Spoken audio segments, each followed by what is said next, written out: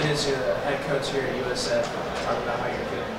Uh, obviously, very happy. Uh, sometimes winning's like relief because you're just stressing for that first one. The first of anything's really hard. But uh, I was pretty confident coming into today in the sense of I knew we had Adam Shue starting. He's been awesome since the day I met him, and I knew we'd be in the game, and that's all you could ask for as a coach. But uh, hopefully, first of many. But um, the credit goes to the guys. Like I, I, don't play the game. I tell them that all the time. So really, really excited and relieved and ready to move on to tomorrow. But we're going to enjoy this one a little bit. You mentioned Shue. He had a strong start, three Ks in the first inning. How do you think that helped his momentum? Uh, I don't think he needed the three Ks in the first to feel confident, but I think our team needed it after obviously what happened yesterday. Um, we kept joking in the dugout, let's get to the bottom of the first tied. Um, and, and, we did, and that was the goal. Um, it's always easier to play baseball from ahead, and scoring first is always important. But when you're home, you need that zero, and that kind of set the tone. After a big slugfest yesterday, I think you start with three Ks, it kind of puts a little doubt in their head, like this is going to be a different type game today, and that got us off to a great start.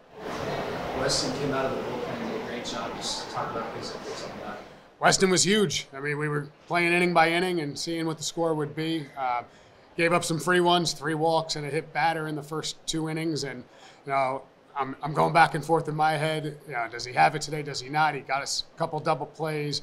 He was huge.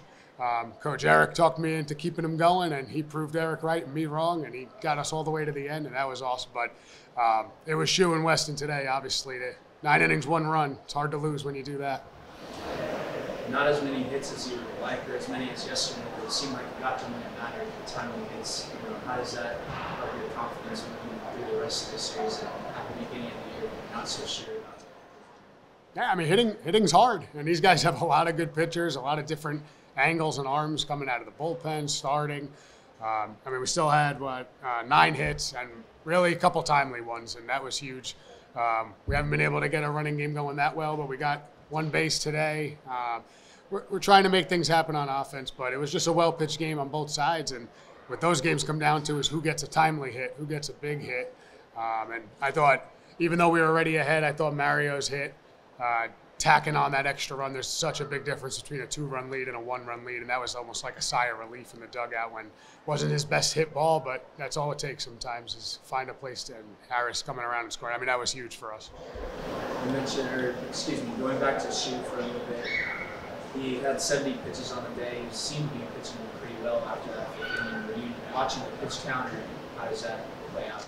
Yeah, pitch counts. I think pretty important early in the season. Um, we know if we're going to have a good season, Shue's going to be a big part of it, obviously. Um, but you know, we're confident in the guys behind him, so we have a kind of pass it to the next guy mentality. You go until you know Coach Eric and myself think you know someone else is going to have more in the tank than you. Do I think Adam could have kept going? Yes, but at this point in the year, first off, I don't think it's really that worth it, and second off, we got to see what we can do with everyone coming out of the pen. So, and again, in a four-game series. Um, you got to kind of stretch some people out, and others you want to bring back later in the series. So, um, yeah, I think he could have kept going, but hey, some of those last at bats were a battle, and he got us out of there. And sometimes you don't want a lineup to see the same guy three and four times th- through the lineup as well. So um, that was kind of the reasoning behind that.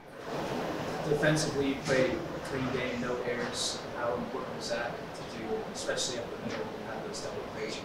Nah, I mean defense has been huge for us. I going into the year, I thought we had a really good defensive infield, um, and it's showed so far. I mean, I, we had one double play we should have turned today. We didn't finish the back end of it, uh, but outfield defense has been good.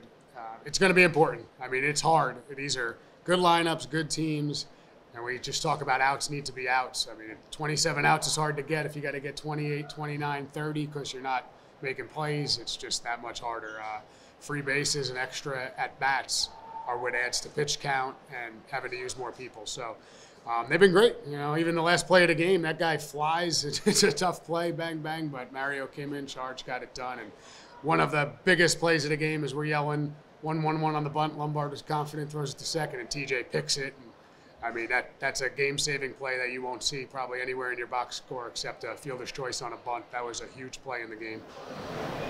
Uh, seems like a couple of the balls that got hit really low, banged off that right field wall. Most other ballparks, those are home runs. Is that something you're still getting used to as a staff, that big right fence? Yeah, it's, it's a different game here. Uh, I think it gives you some hits and it takes some extra base hits away. I mean, yesterday, thinking back, probably TJ Rogers' balls caught at most places, but it scrapes the wall for a double. And then Stapleton almost put a hole in the wall today and it's a single. You know, and that's just kind of how it goes. Even an earlier one, if you think back, Asby had one that I'm thinking at our park's going to scrape the wall and they catch it up against the fence. But honestly, it should be our advantage. We practice here every day. We go to work here every day, so we should know how to play it.